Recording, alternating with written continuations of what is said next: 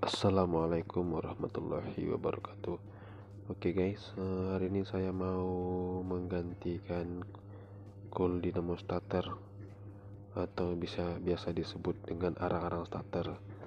Ini dia arang-arang starter ya. Uh, Ini dinamo punya motor karisma. Uh, Dan sebelum kita membuka dinamonya, membongkar dinamonya kita beri tanda dulu agar pas waktu pemasangan tidak keliru. Itu uh, kelihatan. Kelihatan.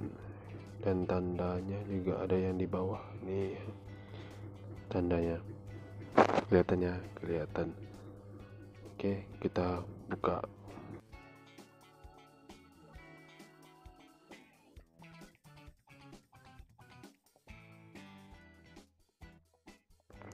oke kita buka. Oh deh kelihatan bagian di dalam dinamo ini basah karena oli. Ini penyebabnya sel di bagian oli di bagian dinamo tidak bisa menghambat masuknya oli ke bagian dinamo. Guys beleak ini penyebab dinamo rusak.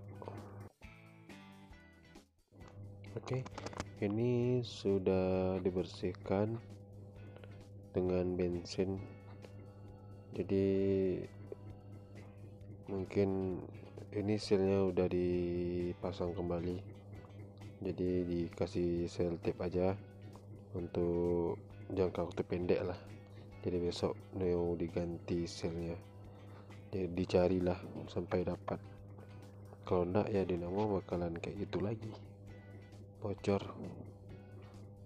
Dan ini yang ker udah bersih juga lumayan.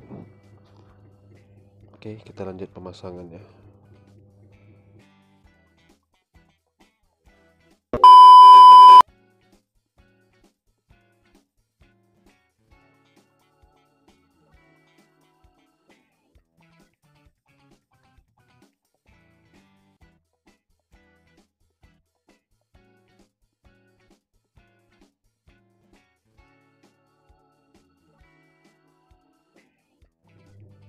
oke ini jangan lupa dipasang sebab kalau ini tidak dipasang akan menimbulkan konsleting. Karena ini memutus api ke badan. Badan itu bisa dibilang bisa dibilang masa gitu. Jadi kalau api sama masa beradu ya konsleting akan menimbulkan api. Ini juga ini seri agar mur atau ring yang di dalam di situ tidak nempel di bagian dinamo.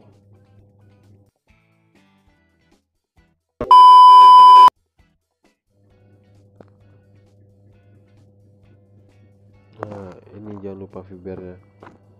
Kalau fiber ini enggak ada ini sebenarnya sebagai alas kulustater agar tidak menyentuh di bagian badan dinamo.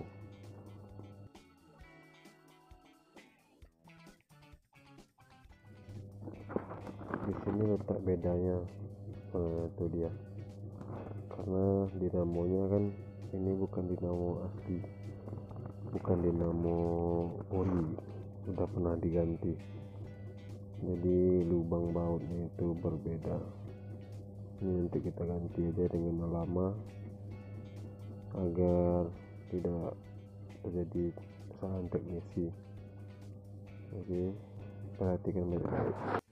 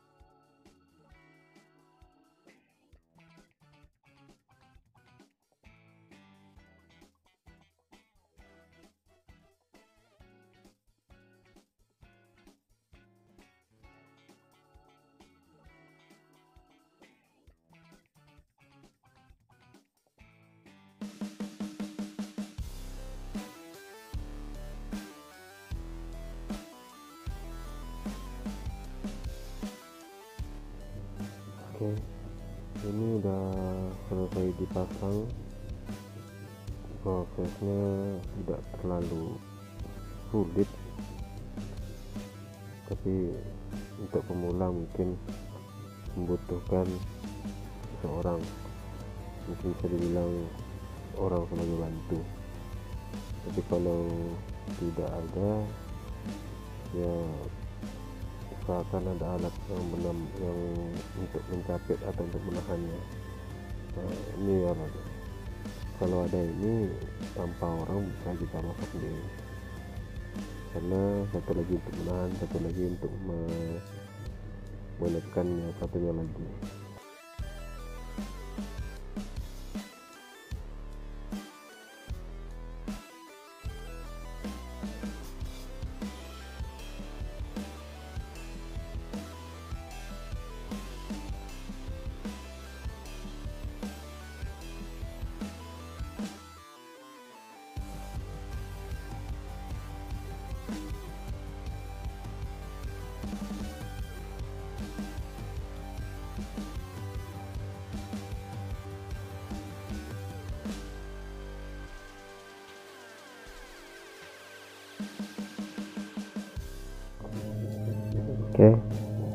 sebelum kita memasang angkernya terlebih dahulu kita beri komok agar tidak ada suara suara cekik-cekik. Biasa sih kalau tidak ada gomok ya bersuara cekik-cekik gitu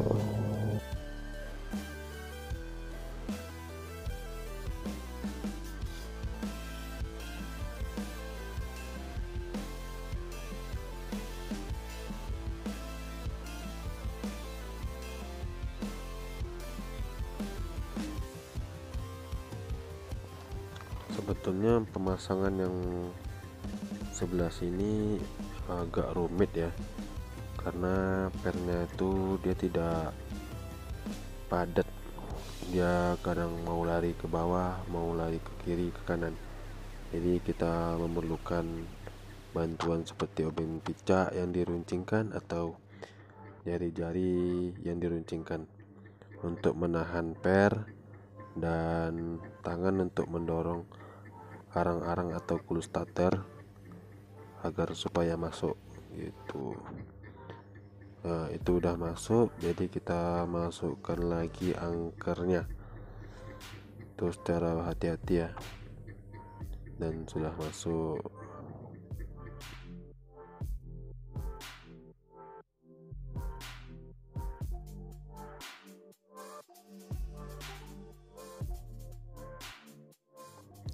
Oke, ingat tanda yang di bawah dan yang di atas.